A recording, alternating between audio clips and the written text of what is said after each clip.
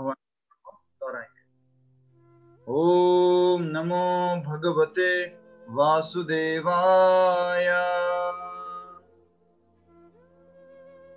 ओम नमो भगवते वासुदेवाय। ओम नमो भगवते वासुदेवाय।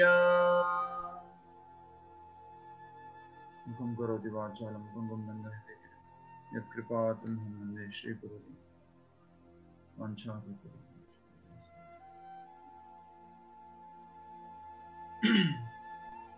हरे कृष्णा, आशा करता हूँ कि आप सभी लोग स्वस्थ हैं, आनंद में हैं और शुरुआत कर रहे हैं आज के इस भगवत गीता कार्यक्रम की।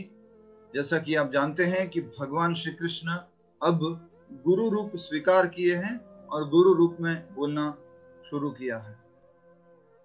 श्लोक संख्या 11 हमने कल समझा था, जिसमें भगवान ने बताया था असोच्यान भास से सोचंती पंडिता। हे अर्जुन, तुम विद्वानों जैसे बातें कर रहे हो, लेकिन तुम जिसके लिए शोक कर रहे हो, विद्वान उसके लिए शोक नहीं करते। जैसा कि हम कल अपने समझ लिया था इस बात को। तो जिसके लिए शोक नहीं करने को कहा जा रहा है वो दो प्रकार का शरीर है।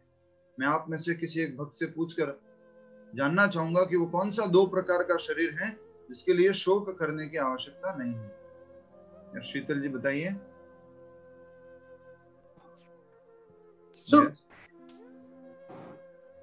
सूक्ष्म शरीर हम्म। और स्थूल शरीर। क्या होता है ये? स्थूल शरीर जो हमारा बाहर का आवरण है और सूक्ष्म शरीर जो हमारी आत्मा होती है, वो अंदर का थोड़ा सा गड़बड़ हो गया। इसको क्लियर करना चाहेंगे? सबसे पहले हमारा बाहर का आवरण, जो ये बॉडी है, इसको क्या बोलते हैं? स्थूल शरीर। और ये किससे बनी हुई है? पाँच धातुओं से। पृथ्वी, जल, अग्नि, वायु और आकाश। ये बाहर का स्थूल शरीर हो गया। इसके अंदर एक क्या है? सूक्ष्म शरीर। वो किससे बना हुआ है? मन, बुद्धि और अहंकार। मन, बुद्धि और अहंकार से बना हुआ उसको बोलते हैं सूक्ष्म शरीर। ये हो गए स्थूल शरीर और सूक्ष्म शरीर। उसके बाद जो है वो आत्मा है। मतलब इस प्रकार से कह सकते हैं कि सर्वप्रथम आत्मा, उसके ऊपर सूक्ष्म शरीर और उसके ऊपर फिर स्थूल शरीर। ठीक है? तो भगवान श्री कृष्ण ने अर्जुन को कहा, न तो विद्वान व्यक्ति स्थूल शरीर के लिए शोक करता है न ही वो सूक्ष्म शरीर के लिए शोक करता है ऐसा करके भगवान श्री कृष्ण ने अर्जुन को बताया, अब आगे हम समझने जा रहे हैं भगवान की शिक्षाओं में, जो कि आज का श्लोक है, श्लोक संख्या बारह, उसमें बहुत ही महत्वपूर्ण बात है। आगे बढ़ने से पहले मैं चाहूँगा कि आप में से कोई बताए, ज्ञान किसको कहा गया है? लीना पटेल जी, ज्ञान किसको कहा गया है? ज्ञान, कल हमने समझा था, ज्ञान किसे कहा गया है? माइक अनम्यूट करके बोलिए। यस बताइए। आध्यात्मिक आत्मा हाँ। को ज्ञान कहते आध्यात्मिक आत्मा को ज्ञान कहते हैं। आत्मा को ज्ञान नहीं मालूम बराबर। बराबर मालूम नहीं कौन बताएगा? हरे कृष्णा। यस शर्वारी सर्वे जी बताइए। माइक अनम्यूट करके बोलिए। सरवारी यस बोलिए।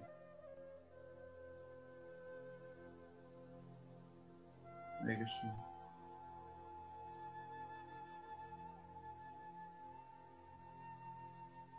हरे कृष्णा।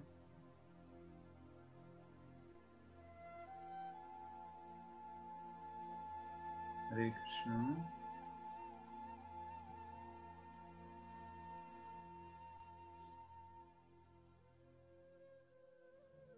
सरवारी जी बोलिए। हरे कृष्णा प्रभु जी। हरे कृष्णा। जो मटेरियल मैटर है भौतिक पदार्थ महाभूत पृथ्वी जल अग्नि वायु आकाश इसका ध्यान रखता है। और? और एक आध्यात्मिक ज्ञान है उसका ज्ञान रखता है। और इन दोनों को नियमित संचालक करने वाले कंट्रोलर है भगवान श्री कृष्ण उनका ज्ञान रखता है उन सबको ज्ञान कहते हैं। बहुत सुंदर अच्छे से बताया आपने। जड़ का, चेतन का और दोनों के नियामक परमेश्वर का जो ज्ञान रखते हैं, उसको ज्ञान कहते हैं। तो आइए आज के इस कथा की शुरुआत एक बहुत अच्छी कहानी से करते हैं, जो हम कल बताना भी चाह रहे थे। तो एक बार एक स्कूल में दो बच्चे पढ़ाई करते हैं। और एक बच्चा जो है, गरीब होता है और एक थोड़ा सा अमीर होता है। तो गरीब बच्चा जो है अधिक पढ़ाई नहीं कर पाता। पांचवी क्लास के बाद वो जो है स्कूल छोड़ देता है और ये अमीर बच्चा जो है वो आगे बहुत पढ़ाई कर लेता है। इतनी ज़्यादा पढ़ाई कर लेता है कि वो बाहर, भारत से बाहर अध्ययन करने के लिए चला जाता है, पढ़ने के लिए चला जाता है। और वहाँ पर वो जाकर के एट लास्ट पीएचडी की डिग्री हासिल करके वापस एक दिन जो है अपने घर आता है। और उसका घर बंगाल में था गंगा नदी के उस तरफ़ था, उसका पुराना गाँव, उस गाँव में उसको जाना था। तो वो गंगा नदी के किनारे जाता है और वहाँ देखता है कि एक नाव वाला नाव लेके बैठा हुआ है और वो लोगों को उधर ले जाता है।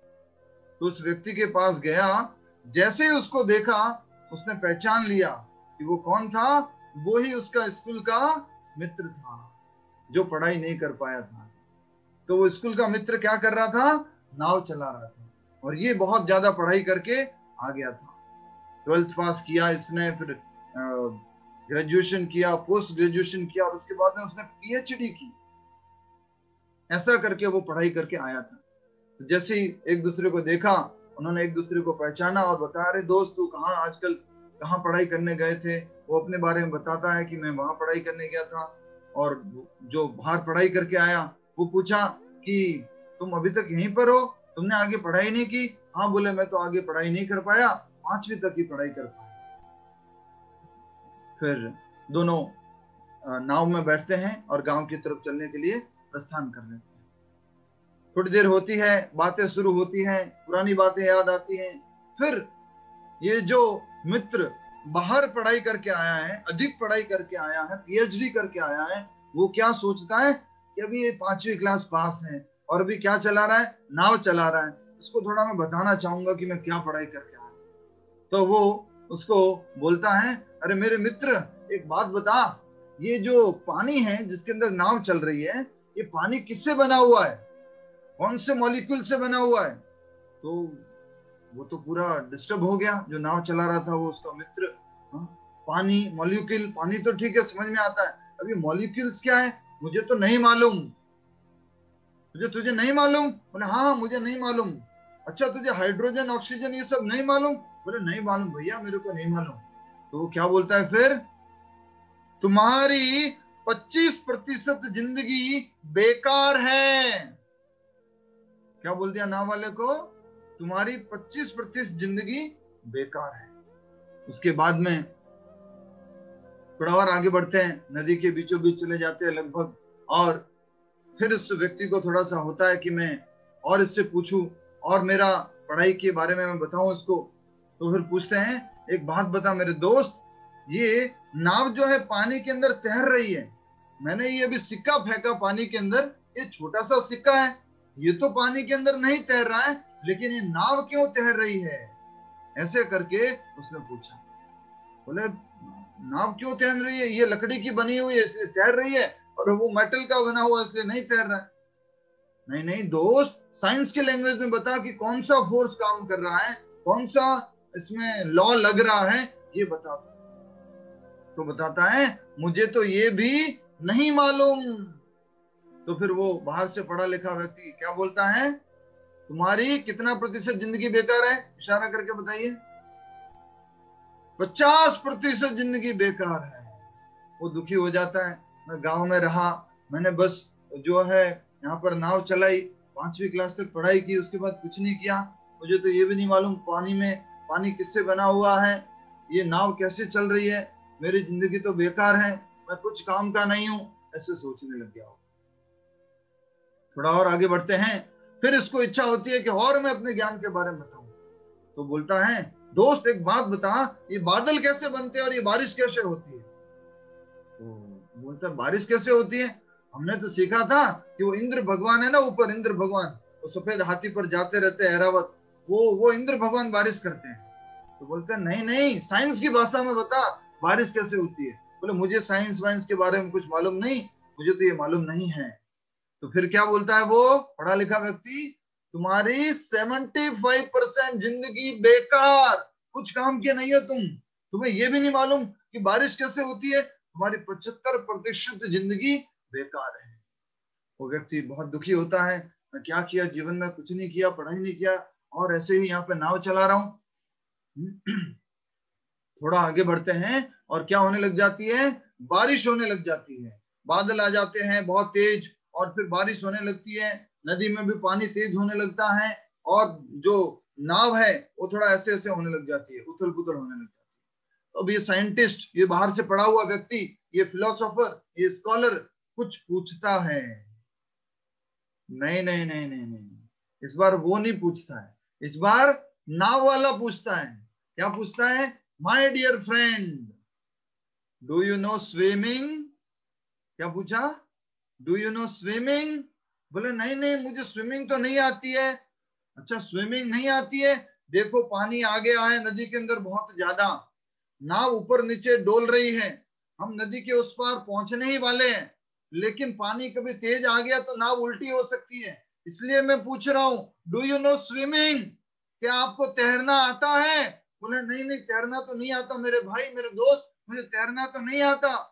तो वो क्या बोलता है फिर नाम वाला your hundred percent life is waste तुम्हारी सौ प्रतिशत ज़िंदगी बेकार है। और वास्तव में ऐसा ही हुआ। वो पानी आया तेज, नाव ऊपर नीचे हुई और ये व्यक्ति जो बाहर से बहुत ज़्यादा पढ़ाई लिखाई करके आया है, वो नाव उलट गई, पानी के अंदर वो डूब गया। उसको बचाने की कोशिश की उसने, लेकिन पानी बहुत ज़्यादा तेज था तो उसमें वो डूब गया। ये कहानी प्रभुपाद जी बताते हैं और बहुत सुंदर इसमें बताते हैं प्रभुपाद जी। क्या बता रहे हैं कि हमने जीवन में बहुत पढ़ाई किया। सब प्रकार का ज्ञान रखा। सब जानते थे क्या करना है दुनिया में, कैसे धन कमाना है, कैसे जीवन जीना है, कैसे भौतिक दुनिया की वस्तुओं को प्राप्त करना है। लेकिन अगर आत्मा का, परमात्मा का और ये जो भौतिक पदार्थ है, इसका ज्ञान नहीं है। भगवत धाम जाने का ज्ञान नहीं है। स्विमिंग करने का, तैरने का, इस भव सागर से बाहर निकलने का ज्ञान नहीं है। तो तुम्हारी ज़िंदगी क्या है? इशारा करके बताइए। हंड्रेड परसेंट बेकार है, सौ प्रतिशत बेकार यही बता रहे हैं इस उदाहरण के माध्यम से, इस कहानी के माध्यम से कि अगर हम भगवान की भक्ति नहीं कर रहे हैं, भगवान का जो ज्ञान है उसको नहीं रखते हैं, दुनिया भर का ज्ञान है। पच्चीस परसेंट है, पचास परसेंट है, पचहत्तर परसेंट है, लेकिन वो जो स्विमिंग का ज्ञान है वो तैरने का ज्ञान है, वो नहीं है तो जीवन बेकार है। उसी प्रकार से इस भौतिक जगत को क्या बताया गया है?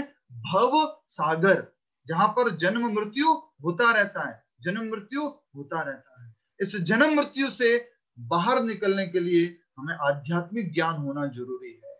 और जब आध्यात्मिक ज्ञान होगा तो क्या होगा? हमें जन्म मृत्यु के चक्र से बाहर निकल सकते हैं, इस भौतिक भव सागर से बाहर निकल सकते यही शिक्षा है इस कहानी के माध्यम से। आइए तो अब हम आध्यात्मिक ज्ञान को इस दुनिया से तैरने तैरने का जो ज्ञान है, स्विमिंग सीख लेते हैं भगवत गीता से। ठीक है? हरे कृष्ण। श्लोक संख्या बारह, आप सभी से निवेदन, दोहराएँगे। कुछ लोग तो अभी भी इंतज़ार कर रहे हैं कि और कहानी सुनना है। थोड़ा सा फिलोसॉफी भी सुनना पड़ेगा, जो इंपॉर्टेंट है। श्लोक संख्या बारह, दोहराएँगे। न त्वेवाहं जातु नासम्। न त्वं नेमे जनाधिपाः। न चैव न भविष्यामः। सर्वे वयमतः परम्। एक बार और। न जातु नासम्। न त्वं नेमे जनाधिपाः। न चैव न भविष्यामः। सर्वे वयमतः परम। Yes. अनुवाद दोहराएँगे प्लीज़ रिपीट ऐसा कभी नहीं हुआ कि मैं न रहा हो, या तुम न रहे हो, अथवा ये समस्त राजा न रहे हो। और न ऐसा है कि भविष्य में हम लोग नहीं रहेंगे। Yes, बहुत सुंदर बहुत इंपॉर्टेंट श्लोक। पिछले श्लोक में भगवान ने बताया कि न तो स्थूल शरीर के लिए शोक करना है न ही सूक्ष्म शरीर के लिए शोक करना है। और अब बता रहे हैं ये जो सेक्शन चल रहा है ना श्लोक संख्या 11 से इसको बोलते हैं mind and body analysis section मतलब मन और सॉरी माइंड नहीं सोल एंड बॉडी आत्मा और शरीर का वैश्लेषिक अध्ययन, श्लोक संख्या 11 से जो चल रहा है। इससे पिछले जो सेक्शन था, श्लोक संख्या एक से दस, वो था अर्जुन का कंफ्यूजन और उसका सबमिशन अर्जुन जो विभ्रमित हो गया था और फिर उसने सबमिशन कर दिया था। उस श्लोक संख्या एक से दस का जो टाइटल कह सकते यहाँ पर भगवान श्री कृष्ण अर्जुन को कह रहे हैं, पहले तो बताया शोक नहीं करना चाहिए, और अब क्या कह रहे हैं? नत्वे वाहम जातु नाशम नत्वम नेमे जनाधिपा। हे अर्जुन, ऐसा कभी नहीं हुआ कि हम ना रहे हो, मैं न रहा हूँ, तुम न रहे हो। ये सारे जो कुरुक्षेत्र के युद्ध स्थल में राजा इकट्ठे हुए हैं, इतने सारे लोग इकट्ठे हुए, ये ना रहे हो। नहीं फ्यूचर में कभी ऐसा होगा कि हम सब लोग नहीं रहेंगे।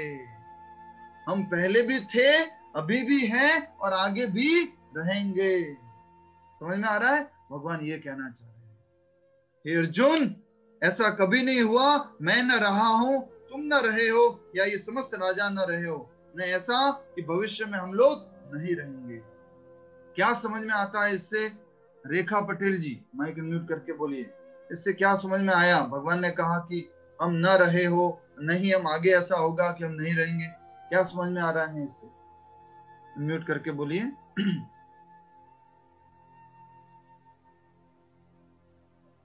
यस पटेल रेखा करके। नहीं अनुराधा सोनी जी बताइए। हरे कृष्ण प्रभु जी। हरे कृष्ण जी। ये पता चलता है कि इससे ये पता चलता है कि शरीर मरता है पर आत्मा कभी नहीं मरती आत्मा नश्वर है। यस बहुत सुंदर हरे कृष्ण। तो क्या कहना चाह रहे भगवान? कि हम लोग पहले भी थे, लेकिन भले हमारा शरीर दूसरा होगा, हमारा वस्त्र दूसरा होगा। आप लोग सब लोग कल थे ना? कल थे आप सभी लोग, बट वस्त्र दूसरा पहना हुआ था। और आज हैं, दूसरे वस्त्र पहने हुए। कल भी रहेंगे आप, वस्त्र दूसरे पहनेंगे। उसी प्रकार से हम स्वयं, आत्मा जो है, पहले भी थी पास्ट में भी थी, अभी भी है, आगे भी रहेगी। वस्त्र, ऊपर का ये जो शरीर रूपी वस्त्र है ये बदल सकता है। ये अर्जुन, मैं भी था, तुम भी थे, ये सब राजा थे, अभी भी हैं और आगे भी रहेंगे। ऐसा कभी नहीं होगा कि हम नहीं रहेंगे। तो इससे ये समझ में आता है कि आत्मा जो है, शाश्वत है। लक्षण लिख सकते हैं पहला, आत्मा शाश्वत है। और दूसरा जो बात समझ में आती है, वो है इंडिविजुअल है। इंडिविजुअल को बोलते हैं व्यष्टि। आत्मा शाश्वत है, हम लोग क्या है? शाश्वत हैं। और हम लोग क्या है? साथ ही साथ व्यष्टि है। व्यष्टि का मतलब है इंडिविजुअल हम कभी ऐसा नहीं था कि सारी आत्मा एक साथ थी मर्ज थी, फिर वहाँ से कुछ आत्मा अलग अलग हुई अलग अलग शरीर हुए। पहले भी हम अलग अलग थे, अभी भी अलग अलग हैं और आगे भी अलग अलग रहेंगे इंडिविजुअल रहेंगे। हमारी आइडेंटिटी इंडिविजुअल है और सबकी आइडेंटिटी इंडिविजुअल है, वैसे ही आगे भी रहेगा। ये हमें इससे समझ में आ रहा है। ठीक है? हरे कृष्ण। आगे पढ़ते हैं। कोई भी कमेंट जो कर रहे हैं, उनसे निवेदन है, उनसे पर्सनली कर सकते हैं। एवरीवन में कमेंट ना करें। तात्पर्य। बहुत ही महत्वपूर्ण श्लोक है और बहुत ही फिलोसॉफिकल तात्पर्य है। तो आप सभी को सरलता से समझाने का प्रयास करेंगे और आज हमें कोशिश करनी है कि श्लोक संख्या 12 और 13 दोनों पूरा करना है। तो आप सभी लोग अच्छे से जो तात्पर्य है उसकी तरफ़ ध्यान देंगे मैं आशा करता हूँ आपको ये बात समझ में आ गई जो श्लोक में बताया जा रहा है। हम लोग क्या है? आत्मा है। हम ये शरीर नहीं है। आत्मा रूप में हम पहले भी थे, अभी भी है और आगे भी रहेंगे। और आत्मा के क्या कौन से दो गुण हमने समझे? वैभव अग्रवाल जी आत्मा के कौन से दो गुण समझे हमने? तो हुई नहीं। Yes. बताइए। आत्मा शाश्वत है और? और इंडिविजुअल है। यस आत्मा शाश्वत है और व्यष्टि है। आत्मा इटर्नल है और आत्मा इंडिविजुअल है। ठीक है? नेक्स्ट तात्पर्य। वेदों में कठोपनिषद में तथा श्वेता स्वतर उपनिषद में भी कहा गया है कि जो श्री भगवान असंख्य जीवों के कर्म तथा कर्म फल के अनुसार उनकी अपनी अपनी परिस्थितियों में पालक हैं, वही भगवान अंश रूप में हर जीव के हृदय में वास करते हैं। केवल साधु पुरुष जो एक ही ईश्वर को भीतर बाहर देख सकते हैं, पूर्ण एवं शाश्वत शांति प्राप्त कर पाते हैं।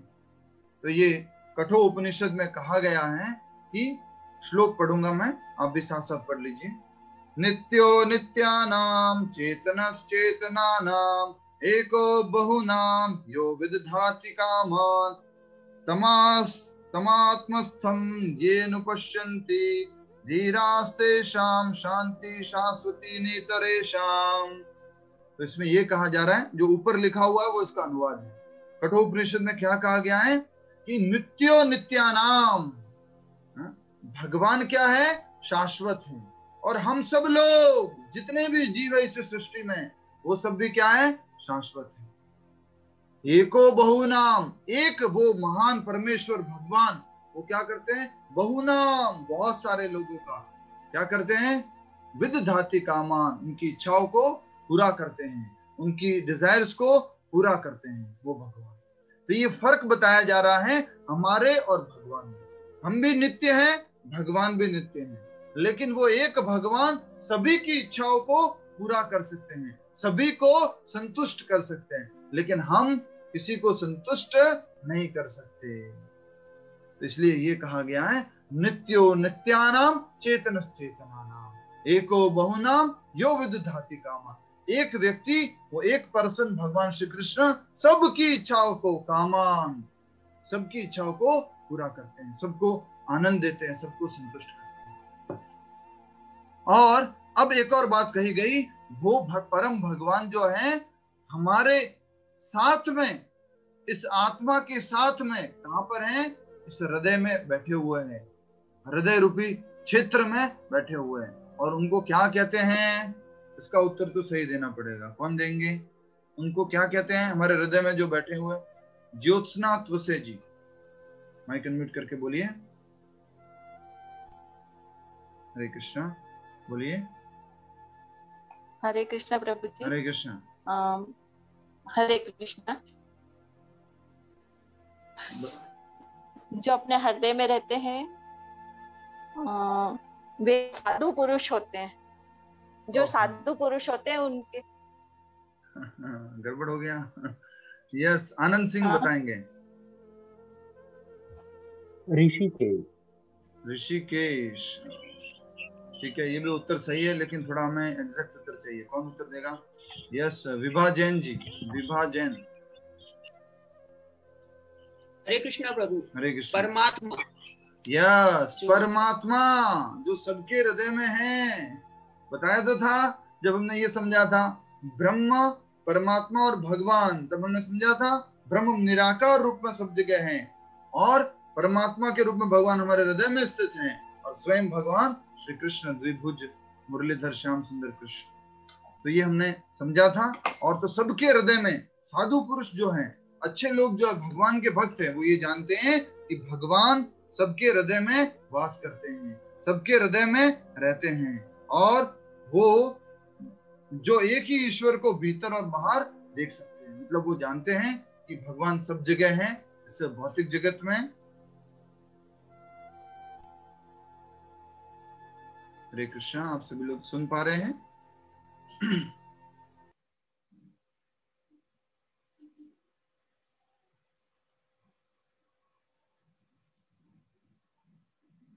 हरे कृष्णा, आप लोग सुन पा रहे हैं?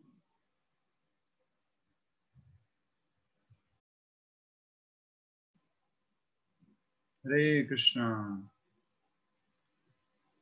तो जैसा कि हमने पहले भी पढ़ा है, पदम पदम यत विपदाम। हर एक क्षण पे क्या रहती है? विपदा आती रहती है। भौतिक जगत ऐसा ही है।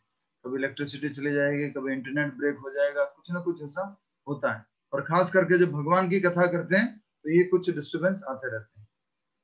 हमें इससे विचलित नहीं होना है, और क्या करना है? टॉलरेट करना है। तो ये हमने समझ लिया कि भगवान जो है सबके हृदय में है और वो देख पाते हैं कि भगवान सब जगह बाहर भी है और अंदर भी है और इस प्रकार जब व्यक्ति जानता है कि सबका नियंत्रक, सबको ध्यान रखने वाले भगवान श्री कृष्ण है, परमात्मा है तो वो लोग क्या रहते हैं? शांति से रहते हैं, शांति प्राप्त होती है उनको। आगे, पैराग्राफ दो। जो वैदिक ज्ञान अर्जुन को प्रदान किया गया, वही विश्व के समस्त पुरुषों को प्रदान किया जाता है। जो विद्वान होने का दावा करते हैं, किंतु जिनकी ज्ञान राशि न्यून है, भगवान यह स्पष्ट कहते हैं कि वे स्वयं अर्जुन तथा युद्ध भूमि में एकत्र सारे राजा, शाश्वत प्राणी हैं और इन जीवों की बद्ध तथा मुक्त अवस्थाओं में भगवान ही एकमात्र उनके पालक है।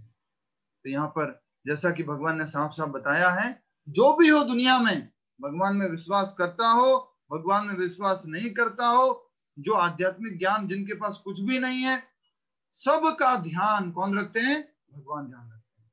सबको पालन कौन करते हैं? भगवान पालन करते हैं। तो यही बात यहाँ पर समझ में आ रही है, और ये भी बता दिए भगवान कि युद्ध भूमि में जो लोग हैं, उनका जो ध्यान कौन रख रहा है? उनको भी पालन करने वाले भगवान ही है। ठीक है? आगे।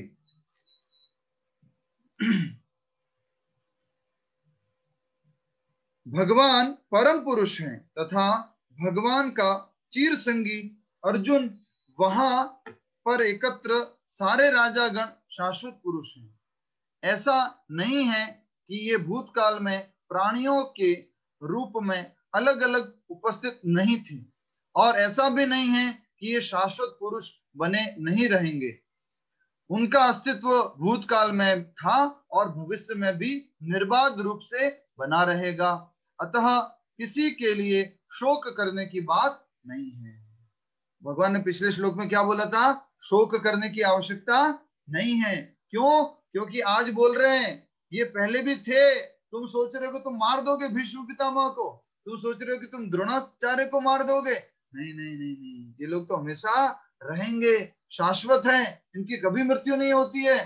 तो क्या होगा? उसके लिए शोक करने की आवश्यकता नहीं है। यही भगवान ने कहा, सब लोग, मात्र भीष्म पितामह नहीं, मात्र द्रोणाचार्य नहीं, मात्र कुरुक्षेत्र में आए हुए वो लोग नहीं, सृष्टि में जितने भी जीव हैं, वो आत्मा रूप में हमेशा शाश्वत रहेंगे। इसलिए हे अर्जुन, शोक करने की आवश्यकता नहीं है। ये भूतकाल में भी थे, अभी वर्तमान काल में भी हैं और आगे भी रहेंगे। आगे। अब यहाँ पर एक छोटी सी बात जो हमें समझनी है, वो ये है, कई बार हम लोग ये समझ लेते हैं कि हमने अभी मनुष्य शरीर ले रखा है, ठीक है? तो पिछला जो जीवन था, वो भी मनुष्य शरीर में था। या आगे आने वाला शरीर है, वो भी मनुष्य शरीर में, वो भी मनुष्य शरीर होगा। नहीं, ऐसा नहीं है। इसको क्या कहा जाता है? भागवतम में कर्मणा देव नेत्रेण जंतुर देह उपपत्ति कर्म के आधार पर व्यक्ति को एक जंतु का शरीर भी मिल सकता है। एक किसी जानवर का शरीर भी मिल सकता है कर्म के आधार पर। इस जीवन में मनुष्य शरीर है, कुछ कर्म ऐसे किए तो अगला शरीर जानवर का भी मिल सकता है। इसको क्या कहा जाता है? कर्मणा देव निप्रेण कर्म, कर्मों के कारण हमें पिछला जीवन में भी मनुष्य का होगा ये जीवन मनुष्य का मिल गया। इस ज, इस जीवन में ऐसे कुछ कर्म किए तो अगला जीवन किसका हो सकता है? किसी प्राणी का हो सकता है किसी जानवर का हो सकता है। जीवन से अर्थात क्या है? शरीर। क्या हो सकता है? शरीर। नेक्स्ट नेक्स्ट पैराग्राफ अब एक और बात महत्वपूर्ण बात आ रही है इसलिए पहले ही मैं समझा देता हूँ। मायावादी सिद्धांत। एक होता है कृष्णवादी सिद्धांत और एक होता है मायावादी सिद्धांत। तो मायावादी सिद्धांत क्या होता है? ध्यान पूर्वक सुन लीजिए, क्योंकि ये बार बार आएगा। और दुनिया में बहुत सारे लोग ऐसे हैं, जो इस मायावादी सिद्धांत को मानते हैं। तो मायावादी सिद्धांत क्या होता है? मायावादी सिद्धांत के अनुसार एक व्यक्ति ये सोचता है कि मैं और भगवान एक ही है। दोनों अलग अलग नहीं हैं। एक दिन मैं भगवान में जाके विलीन हो जाऊँगा। हम दोनों विलीन हो जाएँगे। हमारा अस्तित्व समाप्त हो जाएगा। ऐसा करके मायावादी लोग सोचते हैं। पर भगवान ने तो क्या बोला आज के श्लोक में? आत्मा शाश्वत है और आत्मा क्या है? व्यष्टि है। व्यष्टि मतलब कि इंडिविजुअल है। कभी भी उसका एग्जिस्टेंस जो है, कभी भी उसका अस्तित्व जो है, समाप्त नहीं होता है। तो यही आगे बताई जा रही है बात कि मायावादी लोग कैसे कहते हैं, क्या समझते हैं उस बात को आगे बताया जा रहा है। तो ऐसे लोग जो ये समझते हैं कि एक दिन ये आत्मा और परमात्मा मिक्स हो जाएँगे खत्म हो जाएगा एग्जिस्टेंस और इसके बाद कुछ भी नहीं रहेगा और बहुत सारे लोग ऐसे भी हैं जो बुद्धिस्ट फिलोसॉफी है वो क्या है मालूम है? शून्य फिलोसॉफी शून्यवादी। इस जीवन के बाद सब कुछ खत्म है। चार दिन की ज़िंदगी है मज़े कर लो eat drink be merry enjoy ऐसा करके बोले फिलोसॉफी है और खूब कर, एंजॉय करो इसके बाद कुछ जीवन नहीं है। भगवान कह रहे नहीं. हम्म? ज़्यादातर लोग यही सोचते हैं ना, चार दिन की ज़िंदगी है, आगे किसने देखा है, आगे क्या होगा, पीछे क्या होगा, किसने देखा है, क्या होने वाला है? भगवान कह रहे नहीं भैया जी, नहीं। तुम पहले भी थे, अभी भी हो, और आगे भी रहोगे। तो तुम अगर ये सोच रहे हो कि आगे तुम नहीं होंगे, तुम्हारे कर्म वगैरह नहीं होंगे, ऐसा नहीं है। आगे भी ये सब रहने वाला है। तो देखिए, अब भगवान कृष्ण के इस संदेश को ये प्रभुपाद जी किस प्रकार से समझा रहे हैं, या मायावादी जो लोग बात करते हैं, उसको प्रभुपाद जी किस प्रकार से समझा रहे हैं? यह मायावादी सिद्धांत कि मुक्ति के बाद आत्मा माया के आवरण से पृथक होकर निराकार ब्रह्म में लीन हो जाएगा और अपना अस्तित्व खो देगा, यहाँ पर परम अधिकारी भगवान कृष्ण द्वारा पुष्ट नहीं होता। मायावादी सिद्धांत क्या कहता है कि इस जीवन के बाद आत्मा जो है ब्रह्म में जाके विलीन हो जाएगी और अपना अस्तित्व खो देगी। तो भगवान श्री कृष्ण इस श्लोक के माध्यम से ये कहना चाह रहे हैं, ये बात सत्य नहीं है। भगवान कृष्ण इसकी पुष्टि नहीं करते हैं। भगवान इस सिद्धांत को अप्रूव नहीं करते हैं। No no no no not approve आत्मा इज़ इंडिविजुअल हमेशा रहती है, व्यष्टि है ये। ये कभी भी मिलती नहीं है। इसका आगे उत्तर आएगा, भगवान कहेंगे। क्या कहेंगे? आत्मा घुलनशील नहीं है। आत्मा को पानी में घोला नहीं जा सकता या किसी में भी घोला नहीं जा सकता। आगे आएगा वो। आप सभी ने ये श्लोक सुना हुआ होगा। नयनम छिंदंति शस्त्राणी नयनम दहति पावक, न चयनम कलद्यंते आपो नयनम शोषयति मारुतः। तो भगवान श्री कृष्ण इसकी पुष्टि नहीं करते कि आत्मा अपना अस्तित्व खो देती है, ऐसा नहीं होता। है न ही इस सिद्धांत का समर्थन हो पाता है कि बद्ध अवस्था में ही हम अस्तित्व का चिंतन करते हैं। यहाँ पर कृष्ण स्पष्टतः कहते हैं कि भगवान तथा अन्यों का अस्तित्व भविष्य में भी अक्षुण रहेगा, जिसकी पुष्टि उपनिषदों द्वारा भी हो जाती है। तो पहले तो हमने गीता से समझा कि हम सब लोग पहले भी थे, अभी भी है और आगे भी रहेंगे। उसी तरह से कठोर उपनिषद से समझा। प्रभुपाद जी ने उदाहरण दिया कठोर उपनिषद का। नित्यो नित्यानाम चेतन चेतना नाम सारी आत्मा क्या है? नित्य है। भगवान खुद कह रहे, मैं भी क्या हूँ? नित्य हूँ और मैं सबको ध्यान रखने वाला हूँ। तो हम पहले भी थे, अभी भी हैं और आगे भी रहेंगे। नित्य है, शाश्वत है। कभी कभी भी हमारा एग्जिस्टेंस समाप्त नहीं होता है। आगे। कृष्ण का यह कथन प्रामाणिक है। कृष्ण का यह कथन प्रामाणिक है कि है क्योंकि कृष्ण माया वश नहीं है। कृष्ण माया के वश में नहीं आते हैं। कृष्ण माया से परे हैं। कृष्ण के अंडर माया रहती है। कई बार लोग बोल देते हैं, कृष्ण भी माया के अंडर में है। हम भी माया के अंडर में, कृष्ण भी माया के अंडर में। एक दिन कृष्ण माया से निकल जाएँगे, हम भी माया से निकल जाएँगे और सब एक जगह मिल जाएँगे। कृष्ण कभी भी माया के वश में नहीं आते हैं। कृष्ण कहते हैं, माया मेरे डायरेक्शन में काम करती है। मया अध्यक्षेण प्रकृति ही सूयते चराचरम। मेरे डायरेक्शन में ये माया काम कर ये भगवान श्री कृष्ण कहते गीता में आगे आएगा। यदि अस्तित्व तथ्य न होता तो फिर कृष्ण इतना बल क्यों देते और वह भी भविष्य के लिए? अगर हम वास्तव में नहीं रहते, हमारा अस्तित्व सदा के लिए नहीं होता तो क्या कृष्ण ऐसा बल देते कि आगे भी रहेंगे? ऐसा क्यों बोलते भगवान श्री कृष्ण नहीं बोलते अगर ऐसा नहीं होता तो। बट ऐसा है। कैसा है कि हम पहले भी थे अभी भी हैं और आगे भी रहेंगे। एक बार इशारा कीजिए थोड़ा सा आपको एक्टिव कर लेते हैं। हम पहले भी थे अभी भी हैं और आगे भी रहेंगे। राइट सो ये हमारी इंडिविजुअलिटी है। क्या आपको लगता है कभी? थोड़ा सा सोच के देखिए। हम्म, आपका जन्म डेट क्या है? कोई बता सकता है आप में से किसी एक व्यक्ति का जन्म तारीख? माता जी लोगों से तो नहीं पूछना चाहिए लेडीज़ लोगों से तो नहीं तो गड़बड़ हो जाएगा। महेश जी बताइए। महेश जी क्या आपका जन्म तिथि क्या है? हमारी जन्म तिथि तो नहीं हाँ? क्योंकि वो तो शरीर की जन्म तिथि है। हमारी आत्मा जी की तो जन्म ही नहीं हुआ कभी। हाँ, हमेशा- बहुत सुंदर आत्मा का तो जन्म नहीं हुआ है। अब आपके शरीर की जन्म तिथि क्या है? शरीर की जन्म तिथि आठ हाँ जी। आठ नवंबर उन्नीस सौ अट्ठावन। उन्नीस सौ सत्तावन। अट्ठावन। अट्ठावन। फिफ्टी एट में ये शरीर लिया था इन्होंने। क्या आपको ऐसा लगता है? माइक अनम्यूट करके बोलिए। उससे पहले आप नहीं थे। पहली बार बस ज़िंदगी पहली बार मिली थी एग्जिस्टेंस पहली बार लगा था। ऐसा लगता है कि इससे पहले मैं था ही नहीं। कैसा लगता नहीं। उससे पहले भी थे पर कोई दूसरे शरीर में थे। नहीं, आपको लगता है क्या? मैं आपके बात पूछ रहा हूँ ये तो ज्ञान हो गया। क्या आपको लगता है उससे पहले आप थे ही नहीं? क्या आपको ऐसा लगता है कि मैं हमेशा था? नहीं इस शरीर को में होते हुए तो ऐसा नहीं लगता। इस शरीर में नहीं इस शरीर में जब हमने शरीर धारण किया तो हम आत्मा रूप में हमें क्या लगता है कि मैं जो है पहले भी था ऐसा कभी नहीं हुआ कि मैं समाप्त हो गया एक दिन में पैदा हो गया। पैदा कौन होता है? शरीर होता है। मृत्यु किसकी होती है? शरीर की होती है। राइट तुम जन्म जो है शरीर का होता है मृत्यु भी शरीर की होती है। तो हम, हमें क्या लगता है कि हम तो 1958 से पहले 1958 से पहले मैं नहीं था। ऐसा लगता है क्या? नहीं! उससे पहले भी मैं था, ऐसा लगता है। और वही भगवान कहना चाह रहे हैं। ठीक है? तो यदि अस्तित्व तथ्य न होता तो फिर कृष्ण इतना बल क्यों देते? और वह भी भविष्य के लिए। मायावादी यह तर्क कर सकते हैं। मायावादी अर्थात अगेन मैं बोलना चाहूँगा जो अ, ये समझते हैं कि अभी हम सब माया के अंडर में हैं और जैसे ही माया से मुक्त हो जाएँगे हम भगवान में ब्रह्म में जाके विलीन हो जाएँगे और हमारा एग्जिस्टेंस खत्म हो जाएगा।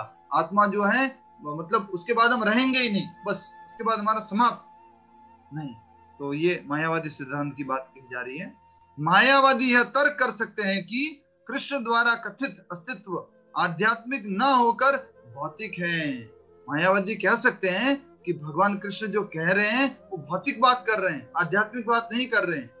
यदि हम इस तर्क को कि अस्तित्व भौतिक होता है स्वीकार भी कर लें तो भी अ, कर लें फिर कोई कृष्ण के अस्तित्व किस प्रकार पहचानेगा? अगर भगवान श्री कृष्ण अगर भौतिक रूप में बात कर रहे हैं भगवान खुद माया में हैं तो कैसे हमें समझ में आएगा कि कृष्ण कौन है? और कृष्ण स्वयं भगवान है, ये बात कैसे समझ में आएगी? आगे। थोड़ा सा आपको डिफिकल्टी हो सकती है, प्रश्न उत्तर में पूछ लीजिएगा, या फिर आप जो है जब नेक्स्ट आएँगे ये सारी बातें, और आगे आती रहेगी ये बातें, तब हम और अच्छे से समझते रहेंगे। कृष्ण भूतकाल में भी अपने अस्तित्व की पुष्टि करते हैं, और भविष्य में भी अपने अस्तित्व की पुष्टि करते हैं। उन्होंने अपने अस्तित्व की पुष्टि कई प्रकार से की है। निराकार ब्रह्म उनके अधीन घोषित किया जा चुका है। इसको हमने समझा था कि भगवान ने कहा, मैं पहले था, अभी भी हूँ, आगे भी हूँ। ये आगे भी आता है, सातवें अध्याय में भी आता है। भगवान अपने बारे में बताते हैं कि मैं भूतकाल वर्तमान काल और भविष्य काल तीनों के बारे में जानता हूँ। और अभी एक बात यहाँ पर जो बता रहे हैं, वो ये बात है कि भगवान कृष्ण को हम कितने रूप में समझ सकते हैं? आँसू सुनान जी बताएँगे। भगवान को हम कितने रूप में अनुभव कर सकते हैं? माइक अनम्यूट करके बोलिए। जो हमने समझे थे ना तीन, सूर्य का उदाहरण दे करके। आँसू सुनान जी, माइक अनम्यूट करके बोलिए। सूर्य का उदाहरण देके जो हमने समझा था, ट्रेन का उदाहरण, पहाड़ का उदाहरण देके जो समझा था हमने। भगवान को कितने रूप में हम समझ सकते हैं? हरे कृष्णा प्रभु जी कितने रूप में? हाँ कितने रूप में हम अनुभव कर सकते हैं भगवान को? एक ब्रह्मा रूप में। ब्रह्मा? मैंने देखो उदाहरण भी बता दिया मैंने हिंट भी दे दिया आपको। पता नहीं प्रभु जी। भूल गए। प्रेरणा सिंगल जी बताइए माइक अनम्यूट करके। हरे कृष्णा प्रभु जी। हरे कृष्णा। हम भगवान को तीन रूप में समझ सकते हैं ब्रह्म परमात्मा और स्वयं कृष्ण। जो ब्रह्म भगवान को हम तीन रूप में अनुभव कर सकते हैं। जो सुप्रीम भगवान है परम भगवान है उनको हम तीन रूप में अनुभव कर सकते हैं। वो कौन कौन सा? पहला निराकार ब्रह्म रूप में शक्ति रूप में। दूसरा परमात्मा जो सबके हृदय में स्थित है। और तीसरा स्वयं भगवान जो द्विभुज मुरलीधर श्याम सुंदर भगवान है।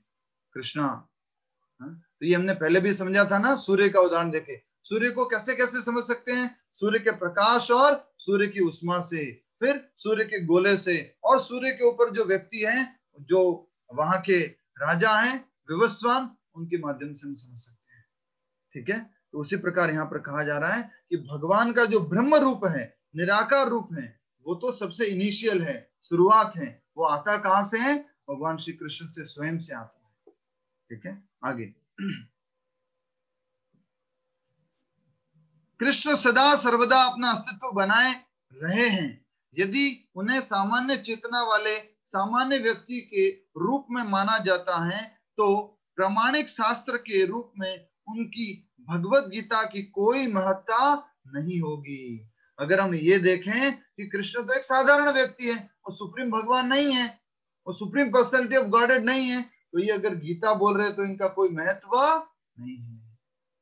क्योंकि कृष्ण तो स्वयं भगवान है, परम पुरुषोत्तम भगवान है, परम भगवान है, परमेश्वर है। इस कारण से ही गीता बोल रहे हैं और इस गीता का कुछ महत्व है। साधारण व्यक्ति नहीं समझा रहा है अर्जुन को, सुप्रीम भगवान, परम भगवान समझा रहे हैं। राइट नेक्स्ट एक सामान्य व्यक्ति मनुष्यों के चार अवगुणों के कारण श्रवण करने योग्य शिक्षा देने में असमर्थ रहता है। गीता ऐसे साहित्य से ऊपर है।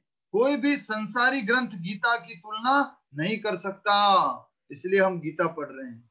ये जो ग्रंथ है, सारे ग्रंथों से ऊपर है। संसारी जितनी भी अलग अलग तरह के ग्रंथ है, बातें हैं, उनसे सबसे ऊपर है भगवत गीता। तो एक बात यहाँ पर समझने की है। यहाँ पर बताया जा रहा है, एक मनुष्य चार अवगुणों के कारण श्रवण करने योग्य शिक्षा देने में असमर्थ रहता है। कौन समझा सकता है इस लाइन को? जस्ट इस लाइन को समझाना है। रेज योर हैंड मनुष्य चार अवगुणों के कारण ऐसी शिक्षा देने में असमर्थ है जो दूसरों को श्रवण करने योग्य हो। कोई भी नहीं आप में से। हरे कृष्णा। यस शीतल जी और उसके बाद कौन है ये? आपका क्या तुषार। तुषार बताइए। जी, हरे कृष्णा। चार इम्परफेक्शन होते हैं हमारे मटेरियल वर्ल्ड में जब हम आते हैं तो एक तो होता है हमारा गलती करने की टेंडेंसी और जो होता है हमारा चीटिंग टेंडेंसी भी होती है। तीसरी हम इल्यूजन होते हैं, हमारे सेंसेस लिमिटेड हैं, हम इजीली नहीं मतलब सब कुछ नहीं देख सकते, हमारे अंदर लिमिटेशन है। और इल्यूजन थर्ड फोर्थ ठीक है। तो ये मैं ये पूछना चाह रहा हूँ ये चार अवगुणों के कारण व्यक्ति ऐसी शिक्षा नहीं दे सकता जो दूसरों को श्रवण करने योग्य हो। क्या मतलब है इसका? इसका अर्थ क्या है? आपने तो चार अवगुण बताए हैं। यस ब्रजेश्वरी माता जी बताइए। हरे कृष्ण प्रभु जी। हरे कृष्ण। तो कोशिश कर सकती हूँ तीन याद है मुझे। अवगुण नहीं पूछ रहे अवगुण तो उन्होंने बता दिए। पूछ रहे हैं कि नवगुणों से युक्त व्यक्ति ऐसी शिक्षा नहीं दे सकता जो दूसरों के श्रवण करने योग्य हो। क्यों? क्योंकि वो उस अपूर्ण इंद्रिया है उसकी ज्ञान अपूर्ण इंद्रियों से पूर्ण ज्ञान कैसे दिया जा सकता है? यस बहुत ही सुंदर। वो चार अवगुणों से भरा हुआ है तो चार अवगुणों के कारण जो भी ज्ञान देगा वो भी कैसा होगा? अपूर्ण ज्ञान होगा। तो आइए हम थोड़ा सा चर्चा कर लेते हैं इसके ऊपर। ऐसा लग रहा है कि हम आगे वाले श्लोक को तो नहीं कर पाएँगे, इसी को अच्छे से कर लेते ठीक है? हरे कृष्ण तो बताया जा रहा है कि हरेक मनुष्य में चार प्रकार के डिफेक्ट होते हैं। चार प्रकार के अंदर क्या होती है उसके अंदर? अवगुण होते हैं। वो क्या क्या होते हैं? आप सभी को मालूम है, आपके अंदर चार अवगुण क्या क्या है? सब कुछ लोग बोल रहे काम करो लोग कुछ लोग कुछ बोल रहे हैं। वैसे तो उन्होंने बता दिया था, जो व्यक्ति उत्तर दिए थे सबसे पहले। नहीं नहीं उत्तर क्या है? हर एक मनुष्य में चार प्रकार के डिफेक्ट है। वो क्या क्या है? सबसे पहला, आप में से कोई ये सोचता हो ना, आज आपका जो है ना, क्या कहते हैं जो मन में कभी कभी सोचते हैं कि मैं तो परफेक्ट हूँ, मैं जो भी करता हूँ, सही करता हूँ, मैं कुछ गलत नहीं कर सकता, ये आज आपकी भावना, ये आपका वहम आज निकल जाएगा इस बात को जानकर। सबसे पहला टू कमिट मिस्टेक हर किसी व्यक्ति में एक अवगुण है। पहला अवगुण क्या है? गलती करना। दुनिया में ऐसा कोई व्यक्ति नहीं है जो गलती नहीं करता। कई बार लोग सोचते हैं कि मैं गलती नहीं करता, मैं हमेशा सही हूँ, हमेशा मैं सही करता हूँ, मेरे से कोई गलती नहीं होती, उस कारण से वो हमेशा दुखी रहता है। वो सोचता है, सब लोग मेरे जैसा करना चाहिए, सब लोग अच्छा करना चाहिए, बट वास्तव में सत्य क्या है? इस शरीर के अंदर पहला डिफेक्ट है, उसको क्या बोलते हैं? गलती करना। इंग्लिश में बोलते हैं एर इज़ ह्यूमन मनुष्य मतलब गलती करेगा। हम भी साधारण भाषा में बोलते हैं ना कभी कभी गलती हो जाती है तो क्या बोलते हैं? भगवान थोड़े ना हूँ कि गलती नहीं करूँगा। गलती तो इंसान से ही होती है ना तो माफ़ कर दीजिए, गलती मैं तो इंसान हूँ, माफ़ कर दीजिए। तो इंसान क्या करता है? गलती करता है। पहला डिफेक्ट ठीक है? दूसरा, अपूर्ण इंद्रिया सेंसेस इम्परफेक्ट सेंसेस हमारे इंद्रिया क्या है? अपूर्ण है। अगर हमारे में से बहुत सारे लोगों ने ये पहन रखा है, ये देखिए क्या पहन रखा है? ये पहन रखा है। इसको अगर निकाल देंगे तो अच्छे से दिखाई भी नहीं देखा गीता में क्या लिखा हुआ है? वो नहीं देख पाएँगे। क्यों? क्योंकि हमारी इंद्रिया क्या है? अपूर्ण हो चुकी है। हाँ? चलो, जिन्होंने नहीं पहन रखा, उनके लिए भी इंद्रिया अपूर्ण है। कैसे? पीछे क्या चल रहा है? दिखाई दे सकता है? नहीं दे सकता। लिमिटेशन है। उस दीवार के पीछे क्या हो रहा है? दिखाई दे सकता है? नहीं। इसके लिए क्या कहा जाता है? अपूर्ण इंद्रिया। नेक्स्ट तीसरा क्या है? अज्ञानता। तीसरा क्या है? अज्ञानता। और अज्ञानता क्या है? अज्ञानता इस बात की कि मैं ये आत्मा हूँ, इस बात की अज्ञानता। ये अज्ञानता तीसरा डिफेक्ट है। और बहुत सारी अज्ञानता हा? पूर्ण ज्ञान नहीं है हमारे अंदर, अपूर्ण ज्ञान है। ठीक है? और चौथा कौन सा बचा है? चीटिंग प्रोपेंसिटी चीट करना, धोखा देना। हा? हर कोई क्या करता है? चीट करता है, धोखा देता है। और धोखा देने से क्या अर्थ है यहाँ पर? धोखा देने से अर्थ है कि कुछ अलग अलग तरह के धोखा होते हैं अलग अलग तरह की चीटिंग होती है। पर साधारण भाषा में अगर पूछा जाए कि कौन सा धोखा तो मान लीजिए हमें कुछ मालूम नहीं है और फिर भी हम बोल पड़ते हैं। उसको भी क्या बोलते हैं? धोखा देना चीट करना।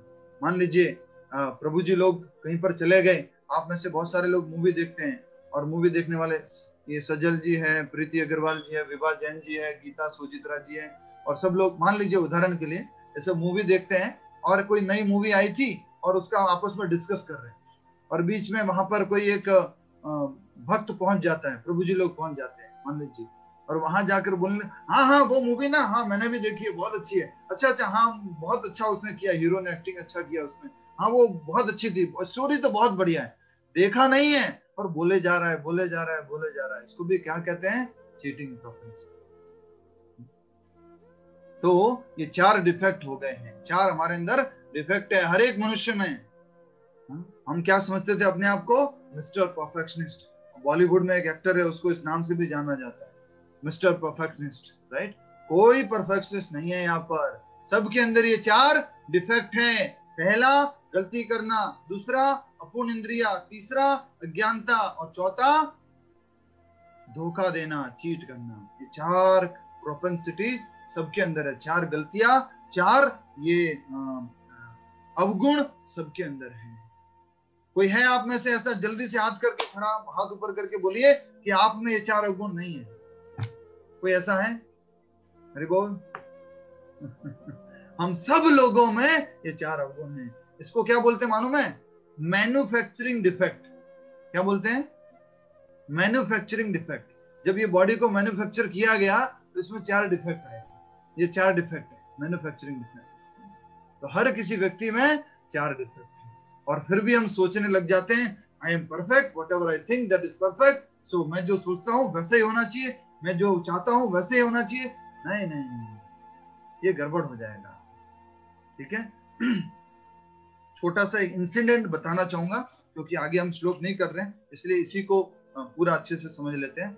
एक बार शिला प्रभुपाद जी एक साइंटिस्ट से बात कर रहे थे। उस साइंटिस्ट का नाम था डॉक्टर बेनफोर्ड अमेरिका के अंदर बात कर रहे थे डॉक्टर बेनफोर्ड से बात हो रही है। प्रभुपाद जी बोल रहे हैं कि सृष्टि जो है भगवान की शक्ति से चलती है। भगवान इसको मैनेज करते हैं। सृष्टि का कैसे निर्माण हुआ, उसके बारे में प्रभुपाद जी उनको बताते हैं। लेकिन ये साइंटिस्ट क्या बोलता है मालूम है, doctor Benford? Swami ji I will find out how this creation came into existence मैं ढूंढ के निकालूँगा कि ये प्रकृति कैसे आई, ये पूरा सृष्टि कैसे हुआ, मैं ढूंढ के निकालूँगा। प्रभुपाद जी बोलते हैं no no no no doctor Benford not possible for you तुम नहीं निकाल सकते ढूंढ करके। बोले, क्यों स्वामी जी मैं ढूंढ सकता हूँ। मेरे पास मशीन है। मेरे पास लेबोरेटरी है, मेरे पास काम करने वाले लोग हैं तो मैं ढूंढ करके निकालूँगा, ये पृथ्वी क्यों घूम रही है, सूर्य क्यों घूम रहा है, ये पृथ्वी कैसे आई, ये संसार कैसे आया, मैं ढूंढ करके निकालूँगा। कौन बोल रहा है? डॉक्टर बेनफोर्ड प्रभुपाद जी बोलते हैं no no no doctor Benford you are imperfect so you can not find out तुम इम्परफेक्ट हो। No no no Swami ji I have instrument and perfect instrument I have मेरे पास कैसे इंस्ट्रूमेंट है? Perfect instrument है। तो प्रभुपाद जी क्या बोलते हैं? No no no doctor Benford you have this four defects तुम्हारे अंदर क्या है? फोर डिफेक्ट्स है। कौन कौन से? क्या क्या? बताइए। गलती करना, अपूर्ण इंद्रिया। तीसरा अज्ञानता। और चौथा चीट करना।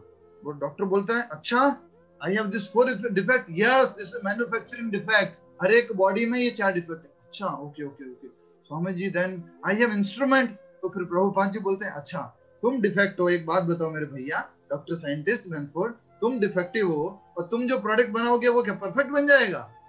हा? तुम जो मशीन बनाओगे, जो तो इंस्ट्रूमेंट बनाओगे, वो कैसा होगा? वो भी डिफेक्टिव होगा। तो उससे जो रिज़ल्ट आएगा, वो कैसा होगा? डिफेक्टिव होगा। तो प्रभुपाद जी कहते हैं you are imperfect so whatever you will conclude that will be imperfect Prabhupada ji, फिर डॉक्टर बोलते हैं, okay, Swami ji I am imperfect okay I understood but फिर प्रभुपाद जी के ऊपर वो अंगुली करता है। क्या बोलता है फिर वो? Are you perfect Swami ji ऐसे बोलने लगते तो प्रभुपाद जी क्या बोलते हैं? विनम्र भाव होके इवन दो वो भगवान के ही शक्त्यावेश भेजे हुए भगवान के ही दूत हैं, लेकिन फिर भी वो विनम्र भाव में क्या बोलते हैं? हर कोई व्यक्ति इम्परफेक्ट है। मैं भी क्या हूँ? इम्परफेक्ट हूँ। प्रभुपाद जी ऐसे बोलते थे आई एम ऑल्सो इम्परफेक्ट अच्छा then Swami ji you are also telling about creation. So whatever you will tell, that also imperfect. Prabhupada ji बोलते हैं no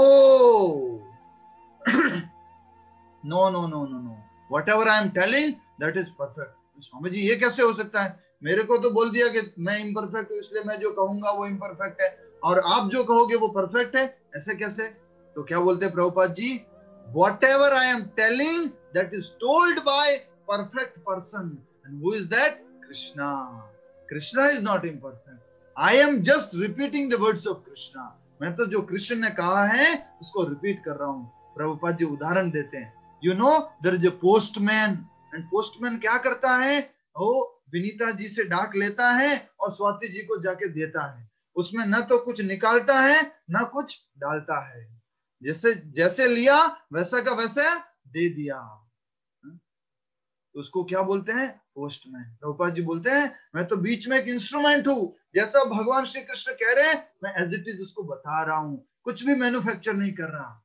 प्रभुपाद जी बोलते हैं, कई बार लेक्चर में मालूम है, प्रभुपाद जी इंग्लिश में लेक्चर में एक शब्द उपयोग करते हैं। वो शब्द है रास्कल रास्कल शब्द का अर्थ होता है महामूर्ख। प्रभुपाद जी शब्द उपयोग करते हैं, महामूर्ख। प्रभुपाद जी बोलते हैं, ये शब्द भी मैं अपनी मर्ज़ी से नहीं बोल रहा हूँ। ये भी गीता में भगवान बोलते हैं। बोले कहा बोलते हैं? नमाम दुष्कृति नो मूढ़ा। मूढ़ा मतलब महान मूर्ख वो भी भगवान कृष्ण ने बोला, वो भी मैं रिपीट कर रहा हूँ। कुछ भी मेरा मैन्युफैक्चर किया हुआ नहीं। इसलिए जो मैं ज्ञान दे रहा हूँ, ये क्या है? परफेक्ट ज्ञान है। समझ में आया आपको?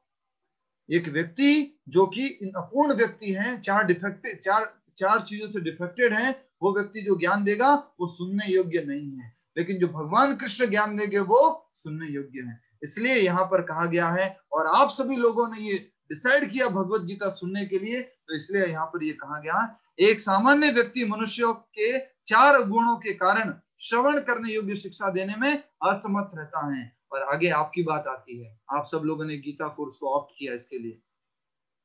गीता ऐसे साहित्य से ऊपर है, कोई भी संसारी ग्रंथ गीता की तुलना नहीं कर सकता, क्योंकि किसने दिया? कृष्ण ने दिया परफेक्ट पर्सन ने दिया। श्री कृष्ण को सामान्य व्यक्ति मान लेने पर गीता की महत्ता, गीता की सारी सामान सामान्य व्यक्ति मान लेने पर गीता की सारी महत्ता जाती रहती है मतलब खत्म हो जाती है। अगर कृष्ण को सामान्य व्यक्ति मान लेंगे तो कृष्ण में भी क्या रहेंगे? चार डिफेक्ट रहेंगे। पर कृष्ण में ये चार डिफेक्ट नहीं है। ये सुप्रीम परफेक्ट पर्सन अर्जुन बोलता है आगे, हा? परम ब्रह्म, परम धाम, पवित्रम, परम भवान। पुरुषम शाश्वतम दिव्यम, आदिदेवम अजम विभुम। आप तो परम शाश्वत पुरुष है। आप तो परफेक्ट हैं, ऐसा करके अर्जुन बोलते हैं। मायावादियों का तर्क है कि इस श्लोक में वर्णित द्वैत लौकिक है और शरीर के लिए प्रयुक्त हुआ है। ज़्यादा टेक्निकल है, इसलिए साधारण भाषा में बता देता हूँ। द्वैत का अर्थ क्या होता है? दो। द्वैत का अर्थ क्या है? दो। तुम भी हो, मैं भी हूँ। हमारे जीवन में आप सभी की जानकारी के लिए बहुत इंपॉर्टेंट पॉइंट है। सारे लोग, जितने भी दुनिया में है ना, सब लोग अद्वैत को मानते हैं, ज़्यादातर। किसको मानते हैं? अद्वैत। मैं और भगवान एक ही है अलग अलग नहीं है। सारे लोग ऐसे ही मानते हैं? भजन गाते रहते हैं। हे भगवान, एक दिन ऐसा दिन आएगा, मैं आप में विलीन हो जाऊँगा, मैं सब कुछ आपके अंदर मिल जाएगा, मेरा अस्तित्व समाप्त हो जाएगा। ये सब मायावाद सिद्धांत है। भगवान ने क्या बोला? अर्जुन, तुम भी थे मैं भी हूँ और आगे भी रहेंगे। ये की ये बात भगवान चौथे अध्याय में बोलते हैं। क्या बोलते हैं? अर्जुन को, अर्जुन, मैंने ये ज्ञान सूर्य देव को दिया था। सूर्यदेव कौन है? विवस्वान। मैंने इस ज्ञान को सूर्यदेव को दिया था, तब भी तुम थे। लेकिन तुम्हें याद नहीं है, मुझे याद है। ये भगवान चौथे अध्याय में भी बात बोलते हैं। तो अगर आप ये सोचते हो कि हम एक दिन, हमारी आत्मा कहीं पर जाके विलीन हो जाएगी, कहीं पर जाके मर्ज हो जाएगी तो ये बिल्कुल भी सत्य बात नहीं है। हम इंडिविजुअल हमेशा रहेंगे, भगवान हमेशा इंडिविजुअल रहेंगे और हम सारी आत्माएँ इंडिविजुअल रहती है, व्यष्टि रहती है। ठीक है? ये शिक्षा दी जा रही है यहाँ पर।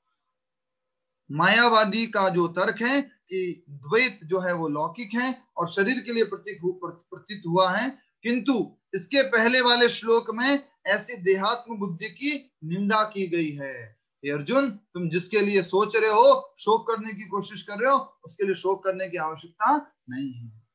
तो द्वैत का मतलब क्या हो गया? इशारा करके बताइए। और अद्वैत का मतलब क्या हो गया? द्वैत का मतलब दो, अद्वैत का मतलब एक। तो ये जो सिद्धांत, भगवान श्री कृष्ण भगवत गीता में कौन सा सिद्धांत देते हैं? द्वैत का या अद्वैत का? इशारा करके उत्तर चाहिए आपका। भगवान श्री कृष्ण गीता में आज के श्लोक में कौन सा सिद्धांत दे रहे हैं? द्वैत या अद्वैत? इशारा, बाकी लोग इशारा नहीं कर रहे हैं। द्वैत का सिद्धांत दे रहे हैं। द्वैत का, तुम भी हो, मैं भी हूँ। तुम भी थे, मैं भी था। आगे भी तुम भी रहोगे, मैं भी रहूँगा। कभी ऐसा नहीं हुआ कि हम मर्ज हो गए थे, या कभी ऐसा नहीं होगा कि हम मर्ज हो जाएँगे। नहीं, हमेशा रहेंगे। तो भगवान किसका सिद्धांत दे रहे हैं? दो का सिद्धांत दे रहे हैं। You are there and I am there इस बात को हम अच्छे से समझेंगे। पहले इस तात्पर्य को पूरा करें।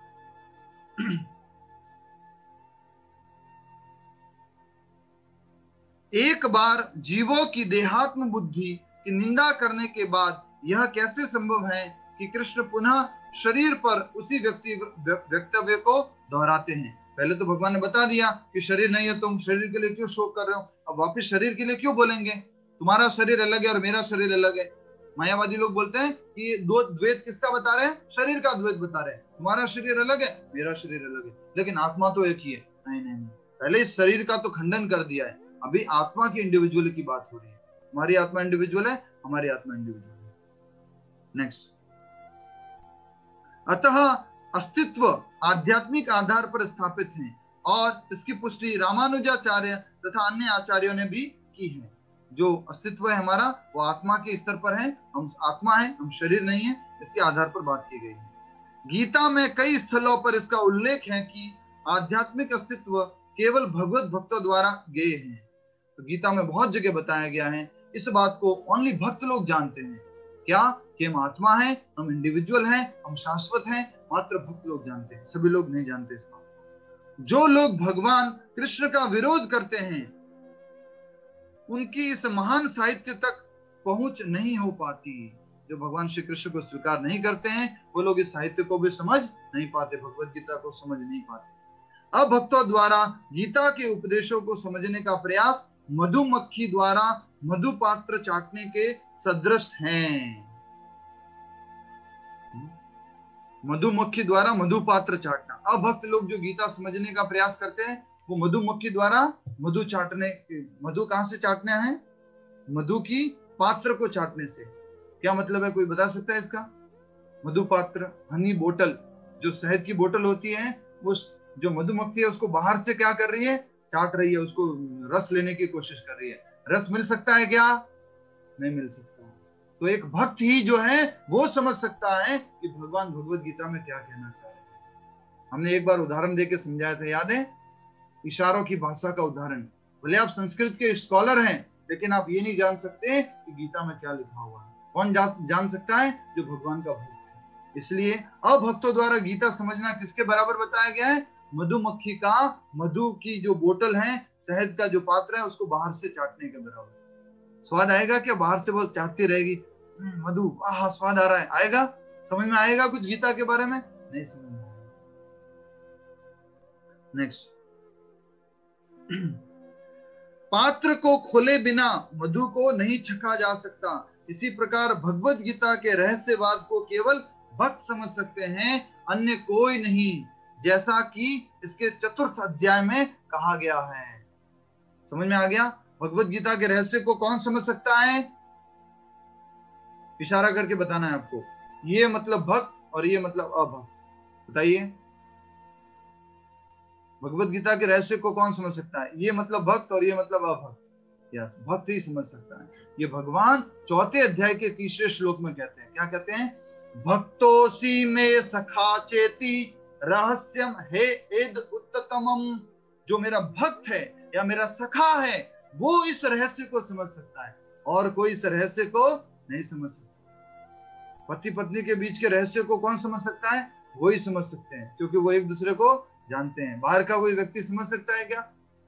एक पति अपने पत्नी को जो इशारा कर रहा है कि जो भी इशारा किया, भाई, कोई व्यक्ति मेहमान आए हुए हैं, उनके लिए उन्होंने कुछ इशारा किया तो क्या बाहर का व्यक्ति कोई समझ सकता है क्या इशारा किया है? वो ही आपस में ही समझ सकते हैं। उसी प्रकार से भगवान का भक्ति समझ सकता है कि भगवत गीता का रहस्य क्या है, भगवत गीता में क्या बताया गया है। आगे। नहीं गीता का स्पर्श ऐसे लोग कर पाते हैं जो भगवान के अस्तित्व का विरोध करते हैं। बिल्कुल भी जो नास्तिक लोग हैं, वो भगवत गीता को नहीं समझ पाते। भगवत गीता में भगवान क्या कहना चाह रहे हैं, वो नहीं समझ अतः मायावादियों द्वारा गीता की व्याख्या मानो समग्र सत्य का सरासर भ्रामक निरूपण है। तो मायावादी लोग, ऐसा लोग जो ये कहते हैं कि आत्मा जो एक दिन जाके विलीन हो जाएगी, आत्मा परमात्मा में मिल जाएगी, आत्मा अपना अस्तित्व खो देगी। ऐसे लोग जो गीता की व्याख्या करते हैं, वो लोग क्या है? हम सबको भ्रमित कर रहे हैं। पूरी तरह से एकदम से अपने को गलत संदेश दे रहे हैं। ठीक है? ब्राह्मण, सरासर पूरी तरह से गीता की गलत व्याख्या दे रहे बोलो भगवान चेतन ने मायावादी, मायावादियों द्वारा द्वारा की गई गीता की व्याख्याओं को पढ़ने का निषेध किया है। और चेतावनी दी है कि जो कोई ऐसी मायावाद दर्शन को ग्रहण करता है, वह गीता के वास्तविक रहस्य को समझ पाने में असमर्थ रहता है। इसलिए हमने आपसे रिक्वेस्ट किया था, ये गीता पढ़िए। ये गीता किसके द्वारा बताई गई है? भगवान के भक्त के द्वारा बताई गई और भगवान क्या कहते हैं गीता में? मेरा भक्त समझ सकता है कि गीता में मैंने क्या बताया है। एक व्यक्ति जो भगवान के ही अस्तित्व को नहीं जानता जो भगवान को बता देता है कि वो भी माया के अंडर में है, वो नहीं समझ सकता। गीता में क्या रहस्य बताया? इसलिए चैतन्य महाप्रभु क्या कहते हैं? मायावादी भाष्य सुन ले सर्वनाश। मायावादियों का भाष्य नहीं सुनना है। मायावादियों द्वारा दी गई गीता की टीका को नहीं सुनना है। नेक्स्ट यदि अस्तित्व का अभिप्राय अनुभव गम्य ब्रह्मांड से है तो भगवान द्वारा उपदेश देने की कोई आवश्यकता नहीं थी। आत्मा तथा परमात्मा का द्वैत शाश्वत तथ्य है और इसकी पुष्टि वेदों द्वारा होती है, जैसा कि ऊपर कहा जा चुका है। ये एक प्रमाणिक गुरु की, एक बहुत विद्वान गुरु की विशेषता होती है। क्या? वो एक बात को अलग अलग शास्त्रों से प्रमाणित करके बताते हैं। तो इसी बात को जो गीता में भगवान कह रहे हैं कि हम भी शाश्वत हैं, शुरुआत में हमने समझ लिया था कि आत्मा शाश्वत है और आत्मा व्यष्टि है। आत्मा इटरनल है और आत्मा इंडिविजुअल है। भगवान ने कहा, तुम भी पहले थे, मैं भी पहले था। ये राजा भी पहले थे। किस रूप में? आत्मा रूप में। शरीर कोई भी अलग धारण कर रहा था। अभी भी है, आगे भी रहेंगे। तुम भी रहोगे, मैं भी रहूँगा। ये राजा, ये सैनिक, ये लोग, ये घोड़े, ये हाथी, ये सब रहेंगे। हम सब लोग क्या है? शाश्वत है। शरीर जो है, अशाश्वत है। स्थूल शरीर अशाश्वत है। सूक्ष्म शरीर अशाश्वत है। आत्मा शाश्वत है। हमारी कभी मृत्यु नहीं होती है। तुम भी हो मैं भी हूँ। इंडिविजुअलिटी कभी भी खत्म नहीं होती है। यही बात यहाँ पर कही गई है और इसी बात को कठोर उपनिषद से भी प्रभुपाद जी ने समझा दिया नित्यो नित्यानाम चेतनस चेतना नाम ठीक है? उसको आ, ये बातें जो हैं आज हमने कही हैं कहीं पर आपको समझने में दिक्कत आई हो सकती है ये बातें आगे बार बार आएगी। इसलिए आपको आगे बहुत अच्छे से क्लियर होगा। बट आज भी आपका कोई प्रश्न है तो आप पूछ पाएँगे हमारा हरे कृष्ण महामंत्र जप कार्यक्रम के बाद में। तो आप सभी से निवेदन है, अभी अपनी अपनी जप माला ले लीजिए और हम जो शाश्वत है इंडिविजुअल है बोलिए पहले। Practical point practical point number one कौन बोलेंगे? यस संयम मराठा जी। हरे कृष्णा आज के सेशन में हमें जो प्रैक्टिकल पॉइंट समझने को मिला कि जन्म और मृत्यु के भव सागर को पार करने के लिए हमें आध्यात्मिक ज्ञान की अत्यंत आवश्यकता होती है। अच्छा खाली प्रोफेशनल ज्ञान होगा तो काम नहीं चलेगा? नौकरी कैसे? ठीक है। आध्यात्मिक ज्ञान इज़ मोर इम्पोर्टेंट यस बहुत अच्छा। एक प्रैक्टिकल पॉइंट हो गया। दूसरा कौन बताएँगे? Next raise your hand yes galaxy A five two माता जी आपका नाम नहीं लिखा हुआ है। मैंने आपको माइक अनम्यूट करने का रिक्वेस्ट भेजा है। अनम्यूट कीजिए। हंसा गोनकिया आई थिंक आप। हाँ बोलिए बोलिए बोलिए। आत्मा शाश्वत है और इंडिविजुअल है। हाँ शाश्वत और इंडिविजुअल तो दोनों बात आपने बता दी। अब इसका प्रैक्टिकल पॉइंट क्या बनेगा? हमें शोक नहीं करना है। अगर कोई तो हमें शोक करने की आवश्यकता है। बहुत सुंदर। अगला प्रैक्टिकल पॉइंट कौन बताएगा? मधु शर्मा माता जी बताएँगे। उससे पहले हाँ मधु शर्मा माता जी माइक अनम्यूट करके बोलिए। माइक अनम्यूट करके बोलिए। यस बोलिए बोलिए। हरे कृष्णा प्रभु जी जी हरे कृष्णा। हर व्यक्ति हर व्यक्ति में चार अवगुण पाए जाते हैं। पहला हर व्यक्ति गलती करता है अपूर्ण इंद्रिया है अज्ञानता है और धोखा देता है चीटिंग करता है। हरे क्या प्रैक्टिकल पॉइंट क्या बनता है इससे? अरे प्रैक्टिकल पॉइंट क्या बनता है इससे? कभी भी ऐसा नहीं सोचना है कि मैं सो सो सो परफेक्ट हूँ। राइट ये कभी नहीं सोचना है। हरे कृष्णा। नेक्स्ट यस सुरेंद्र जी बताइए। सबसे बड़ा पॉइंट इसमें ये है कि हमारे जो चार अवगुण हैं, जिससे हम दूसरे को कह नहीं सकते, उन चार अवगुणों को हमें छोड़ना है। छोड़ना चाहिए। काम, क्रोध दो मोह, इनसे छोड़ेंगे, तभी हम भगवान को अपने